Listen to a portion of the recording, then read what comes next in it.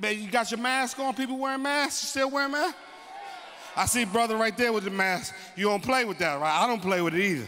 I wear my mask. But your breath be stinking like a motherfucker. And I, you be like, what the f- hot damn? Some people look cute with their mask up and shit, don't they? I told one girl, I said, pull your mask up. She said, I'm vaccinated. I said, no, it's your motherfucking teeth. Them are all fucked up. But COVID exposed everything.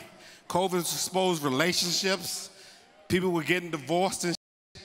Before COVID, they was telling each other shit like, if I was stuck on an island, I would hope it would be with you.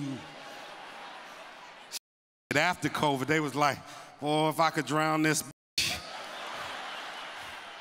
But I wouldn't have nobody to wash my drawers.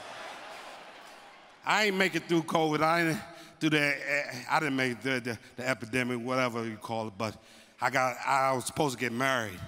That didn't work out. Ain't getting married no more. Yeah, single man, single man at 56 years old. I'm used to having a lady in my life. I'm used to having a lady because you know I'm gonna take care of you.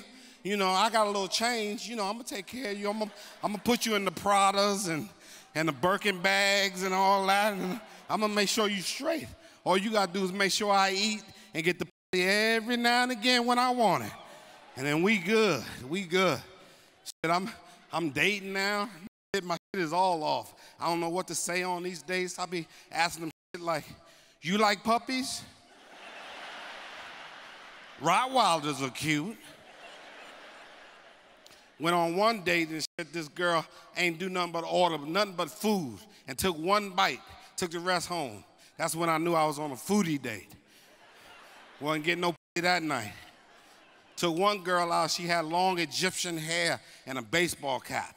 Took off the cap and the hair was connected to it. Felt like I was hatfished.